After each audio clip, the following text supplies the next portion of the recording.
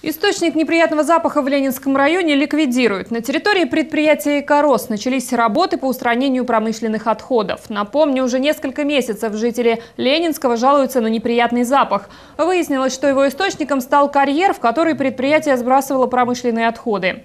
Сейчас специалисты приступили к обвалке границ карьера. После этого он будет засыпан песком. Его на территорию уже завезли. Также стало известно, что суд приостановил производственную деятельность «Экороса» на срок до 90 суток суток. Ну а пока жители Ленинского района продолжают жаловаться на неприятный запах.